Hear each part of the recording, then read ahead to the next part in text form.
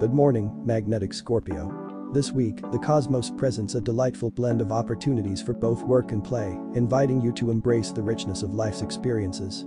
As we kick off on Sunday, April 28, Mars intertwines with Neptune in the dreamy waters of Pisces, igniting the flames of passion in your romantic endeavors. With your partner, you may find yourselves exploring the sensual depths of your connection, indulging in moments of intimacy and shared desire. Singles, the universe whispers of encounters with individuals who ignite a powerful attraction, promising exciting adventures on the horizon. Then, on Monday, April 29th, Venus graces the earthy realm of Taurus, ushering in a period of fruitful connections and partnerships.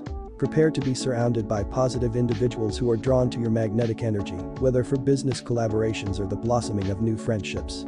As you set your intentions and make wishes for the kind of people you'd like to attract, trust in the universe to align the stars in your favor.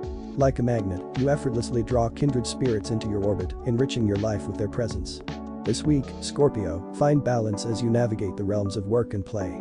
Embrace the joy of collaboration and the thrill of new connections, knowing that each encounter brings you closer to your goals.